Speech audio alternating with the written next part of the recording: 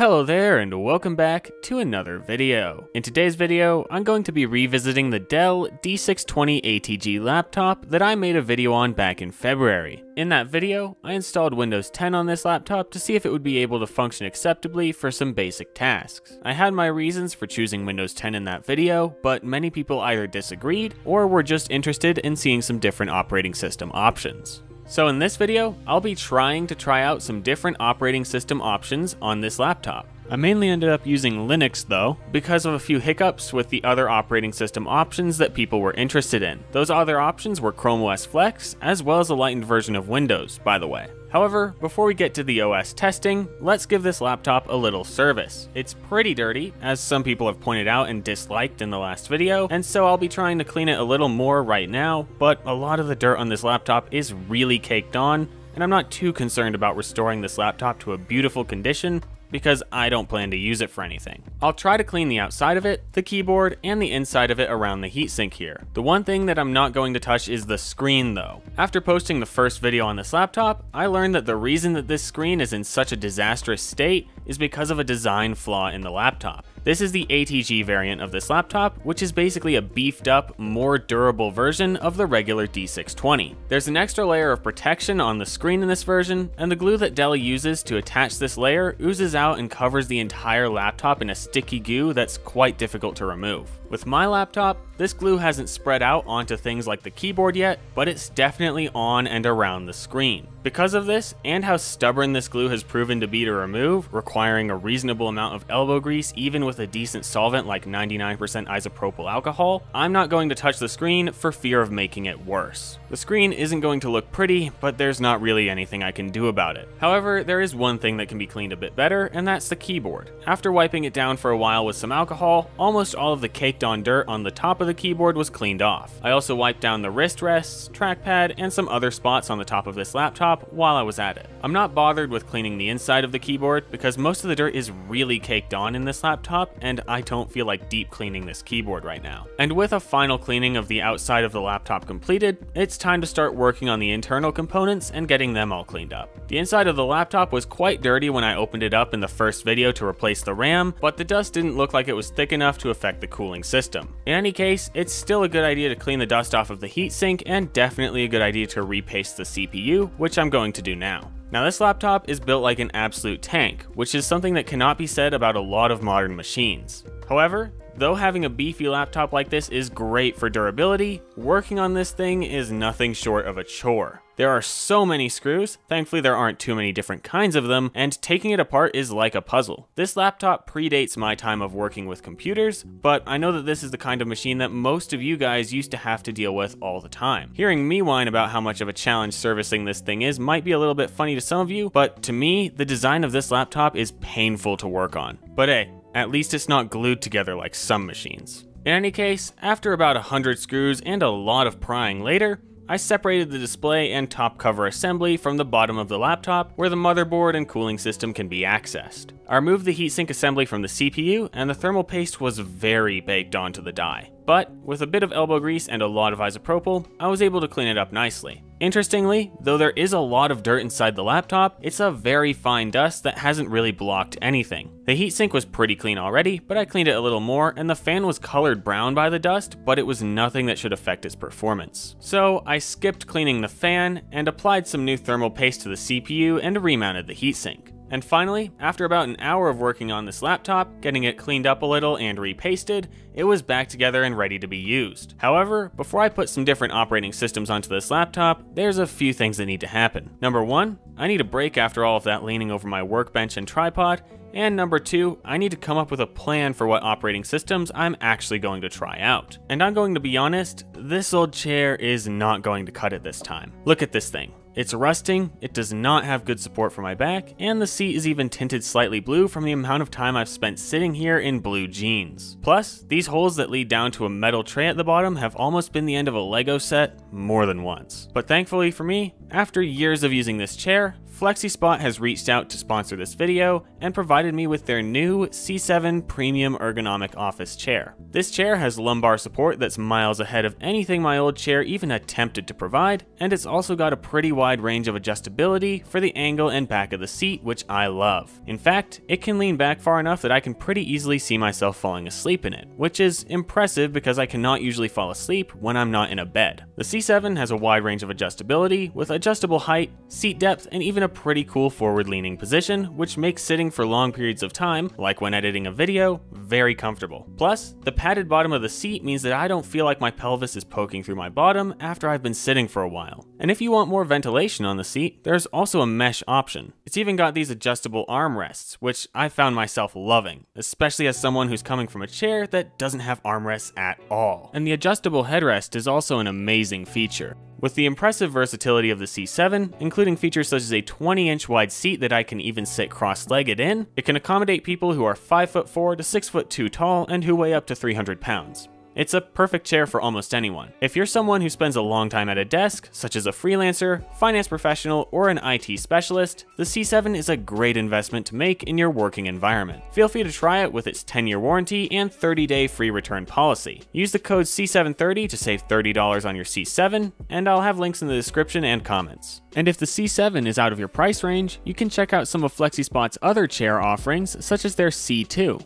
Alright, now that I've had a break and been able to do my own research on some operating systems, let's get to work on this laptop. The first of two OS options that I settled on and will be trying to install today is Linux Mint. I settled on Mint and more specifically the Cinnamon version. I'm not someone who uses Linux on my desktop systems, I only ever use it in headless setups for servers, and so I'm not incredibly well versed in the world of the Linux desktop. For that reason, I ended up with Linux Mint Cinnamon and I'm sure there's a better option out there. But you're in the wrong place if you're looking for a perfectly executed Linux on very old hardware video, because this isn't what I specialize in. Mint Cinnamon is known to be quite user friendly, which is something that I value, and even though it's not the most bare bones and lightweight version of Linux Mint that's available, it should still be lighter than Windows. If this laptop still had 2 gigs of RAM in it, then a different version would have been a much more reasonable choice, but we have 4 gigabytes installed, so Cinnamon should be fine. And actually, now that I've mentioned the amount of RAM we have in the system, I should run over the key specs of it before I go further into Linux Mint's performance. This system is running an Intel Core 2 Duo T5600 with 4GB of DDR2 RAM. I'm installing the OS onto a 128GB SATA SSD, and all of the testing today will be done with the laptop plugged into AC power, just for the record. Anyway, I booted up the system, which wasn't the fastest boot that I've ever seen, but it could have been far worse, and logged in. I opened up the performance monitor to view what the idle RAM and CPU usage looked like. The idle CPU usage seemed to hover somewhere below 15% most of the time, and the RAM usage was almost spot on at 950 megabytes. After connecting the system to the internet, I did my best to ensure that the graphics drivers were updated based on what I could find online. It seems as though it should be fine, however I will reiterate, I do not use Linux on any desktop systems which have monitors hooked up to them and therefore require graphics drivers. So there's a reasonable chance that I've done something wrong here. In any case, I started out the testing by opening Firefox and heading over to YouTube. After opening a YouTube video, I found that at 720p, the system was able to play it back with an okay-ish performance. We were still dropping a reasonable number of frames, but this is performing better than the system did at 480p in Windows 10, so Linux has already won in this department. I decided to give 1080p a shot just for the fun of it, but can say that this system is not capable of doing 1080p YouTube, at least without any help. However, there is another thing that I want to try out on this laptop, and that is the h264ify extension, which was brought to my attention by a couple commenters on the last video. YouTube uses VP9 to stream its videos, which is a codec that this laptop has no hardware acceleration for. However, h264ify will convert this VP9 stream into an H.264 one, which can be relatively easily decoded on the CPU of this laptop. And after the extension was installed, I tried streaming the same video at 720p again, and it seemed that we were dropping fewer frames than we were before installing the extension. I once more pulled up the system monitor to see what the CPU utilization was looking like, and we were between 50 and 75% utilization while streaming this video at 720p. Next, I set the video to 1080p and the stream was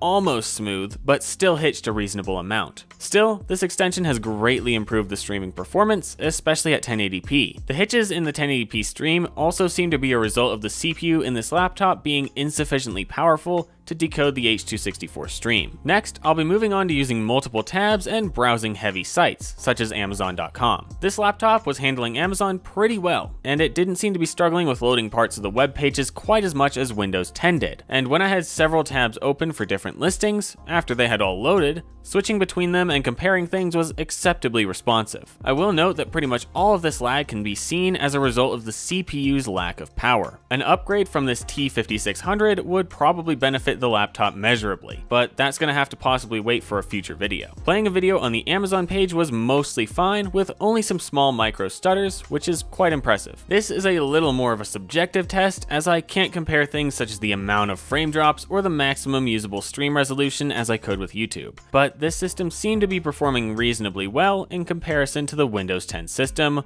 when shopping on Amazon. The Windows 10 system wasn't incredibly far off from this one in this test, but it seems that the Linux laptop has outperformed it by a small but meaningful margin, so the score is 2-0 at this point. Now I'm going to move on to my test of this laptop in a few browser games. In my last video, some people seemingly either misunderstood the point of the test or disliked my choice of game to test, which is fair. So let me reiterate that the point of this test is to ensure that the laptop is capable of running some simple-ish graphical applications within a web browser. If the laptop has trouble with some of these tasks or ends up causing severe graphical artifacting while trying to execute them, that could become a problem on sites that use certain graphics, even ones that aren't games. I decided to start out this time with something that shouldn't be a challenge at all, chess. I'm not going to spend much time here, but needless to say, this system was able to run chess just fine. Also, please don't judge my chess skills, I've played about 10 times in the past 3 years, so I've forgotten all my good strategies. I also went ahead and upped the ante a little with some cool math games. I don't play cool math games, so I kind of just chose some random ones to see if the system would be able to render their simple graphics. I tried to play this one called Slice Master, however the system was clearly running into issues with regards to rendering it. This is what this game looks like when it's running on my main desktop computer, and as you can see, it does not look right on the laptop. I can't pinpoint whether this is an issue with the browser, OS, the Intel 945 chipset that's providing the graphics for the system,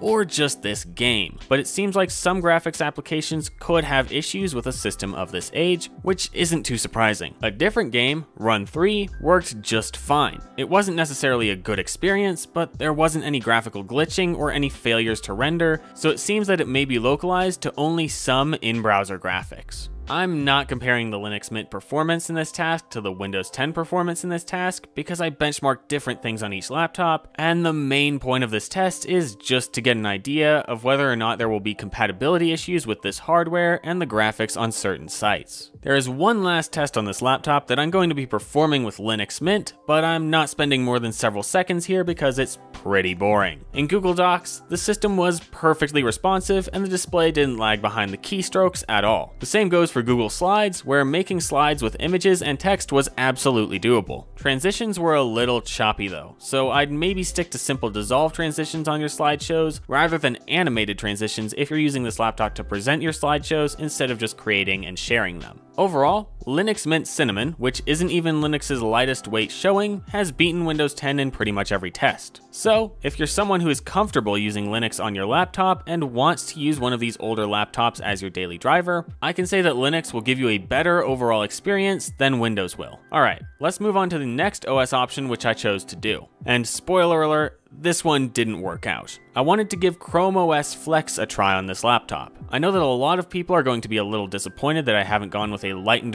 version of Windows, but as I looked into that option, I learned how much I disliked the idea of using a modified ISO. The more I researched it, the more skeptical I became of all modified Windows ISOs and don't really trust them enough to connect to my network and log into things such as my Google account to test docs and slides. Because of that, I did not try any lightened versions of Windows. However, I did want to give Chrome OS Flex a go on this laptop as it seems like an interesting option. I'm not a huge fan of Chrome OS myself, but I can't fault that it's a relatively lightweight and user-friendly operating system. It's also a pretty browser-oriented operating system, so it should be relatively good at performing tasks in its built-in Chrome browser. Because most of the tasks that you can do on Chrome OS happen in the Chrome browser, it would make sense that it would be good with the Chrome browser. But sadly, when I went to install Chrome OS Flex, the system would boot to the drive, the Chrome OS Flex logo would appear, and then it would sit at a black screen and stop pinging the USB drive for data. I tried tried switching from UEFI to BIOS and vice versa. Quick editor me correction here, I misremembered when writing the script. I wanted to try to switch between UEFI and BIOS, but I believe that this laptop does not use UEFI, which means we only have BIOS. And I also remade the installation media on different drives of different sizes, but the issue persisted. There was frustratingly little information and troubleshooting steps to try on this issue available online, and after about two hours of messing around trying to install this OS, I called it. I'm unsure of why this wasn't working, and I do wish that it had worked, as I was genuinely quite curious as to how it would have performed. All in all, Today we were able to confirm that Linux is able to squeeze a notable amount more performance out of this laptop than Windows 10 was able to. So, Linux seems to be a very reasonable option for a laptop of this age, and Linux Mint Cinnamon, which is the exact version I used, was very usable and easy to navigate. And before I sign off, I would like to give one more thank you to FlexiSpot for sending over their C7 chair. Make sure to check them out at the links in the description and the comments. Well, that's all that I have for you in this video. I hope that you were able to at least enjoy it and maybe even learn a thing or two. In any case, I hope to see you next time. Goodbye.